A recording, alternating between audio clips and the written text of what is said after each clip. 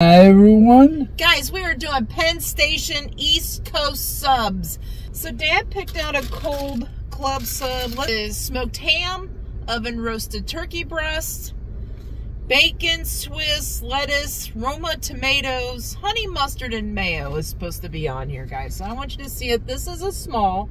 They're charging $6.99 for this in Ohio. I just want you to see the size of it and what we're looking at. So I see tomatoes in here and I'm afraid to open it up. I see bacon, ham, and lettuce, and the cheese. I see the honey mustard down here. I am just afraid to lose tomatoes, guys. Okay. Okay, we're just going to give it to Dad. We're going to let him get started on this and enjoy it. It's very good. I tell you what, and nine, uh, nine is a good for a good, Good number for it. A nine. Dad gave it a nine.